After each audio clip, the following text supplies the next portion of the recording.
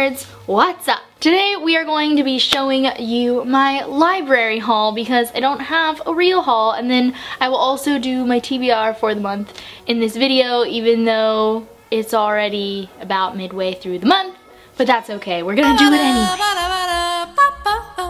So the books that I got out of the library, little sneak peek there, are Otherworld by Jason Segel is it Jason Segel? Like, is that who wrote this book? Like, the Jason Segel? Or is it a different Jason Segel that I don't know about? This is the biannual Bibliothon book for the week-long readathon that I am not hosting this time around, but it's still happening. And this is the book that they will be live showing about that I might join if I actually get to it. Hoping to get to it, obviously, that's why it's here. If you don't know what the biannual Bibliothon is, it's a week-long readathon that happens twice a year, and usually I do host it, but this time I took a break, and they do seven video challenges, seven reading challenges, a live show at the end, eight giveaways, like a partridge in a pear tree. It's happening the third week of January, so this is the book that they picked. The next book I picked up from the library was Attachments by Rainbow Rowell, and this is the only Rainbow Rowell book I haven't read yet. It except for Kindred Spirits, which is technically a novella.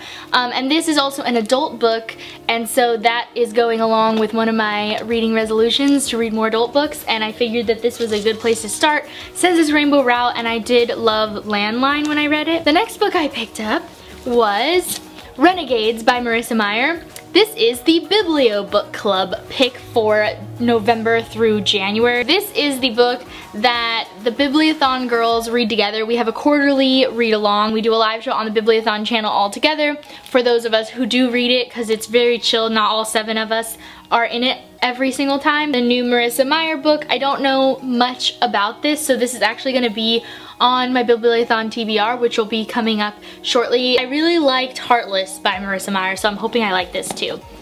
Maybe if I like this one also, then it'll convince me to actually read Cinder by Marissa Meyer. The next three books I got from the library were some graphic novels. I'm excited. And they are the East of West series, volumes one, two, oops, and Number two wanted to just jump right on out. I don't really know what this is about, but I'm pretty sure that it is a like a western zombie mm, space western I'm making stuff up as I go along. I have no idea. But I'm hoping to get to this series. I'm hoping I'll like it enough to continue on with it. So we shall see. This also goes along with that graphic novel thing that I said in my New Year's resolutions because I like graphic novels. And the last book that I picked up the, from the library is my favorite one, Strange the Dreamer by Laini Taylor. This is the Sassy Book Club book pick for January 2018. It's weird. I've never done anything like this by myself before. How do I do it? These are the books that I picked up from the library this time around and I just have a couple more books that I want to show you for my January TBR that doesn't include the Bibliothon TBR, although some of these do. Otherworld is definitely a Bibliothon TBR, and so is Renegades. But like, I still am hoping to read a couple more books. The other two books that I'm adding to my TBR, which one I've actually already finished, first book of the year, was Because You Love to Hate Me, edited by Ameriie. It has a bunch of different authors. It has booktubers in it.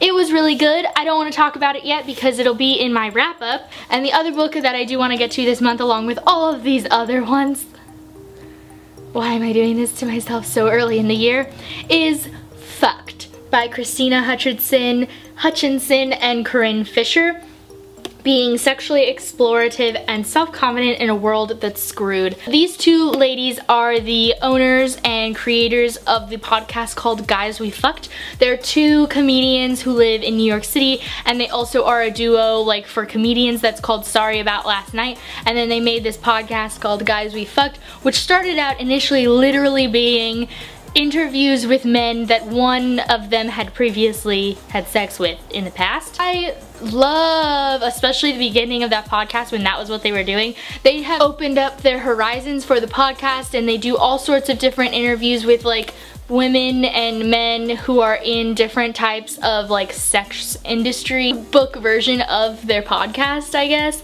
And so the little part that I do want to read is well, you'll also learn about why shame is completely made up and how we can stop giving into it sexual exploration and how it sometimes ends in a trip to the ER Stuff we should stop doing, snooping, nitpicking our bodies, and faking orgasms, asking your sexual partner uncomfortable questions, masturbation, threesomes, porn, sex toys, butt stuff, and much, much more. I saw them in November of last year, literally the day after Trump got elected, and it was the best and also one of the most emotional comedy shows I've ever seen. It was really weird. That is my TBR for January minus the Bibliothon and also the books that I got out of the library for this month. I will also be coming at you with a Bibliothon TBR coming up here shortly. Subscribe if you want and make sure to comment down below what book should I pick up first I'm currently reading Strange the Dreamer. What book should I pick up after that? Follow me on Twitter and Instagram and all that fun stuff. It's all linked down below. The Goodreads page for Strange the Dreamer, if you want to join and be a member of the Sassy Book Club, is also linked down below. So check out all those things in the description box. And I'll see you guys very soon with a new video. Bye!